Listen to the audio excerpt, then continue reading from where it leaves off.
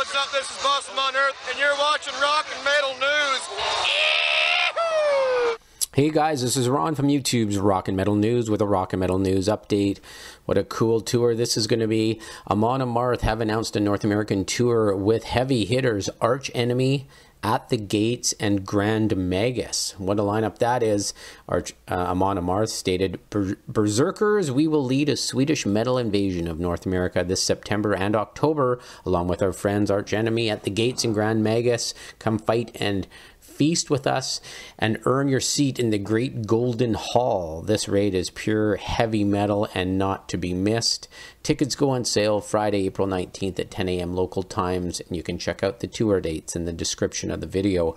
This is Ron from YouTube's Rock and Metal News. Thanks for tuning in.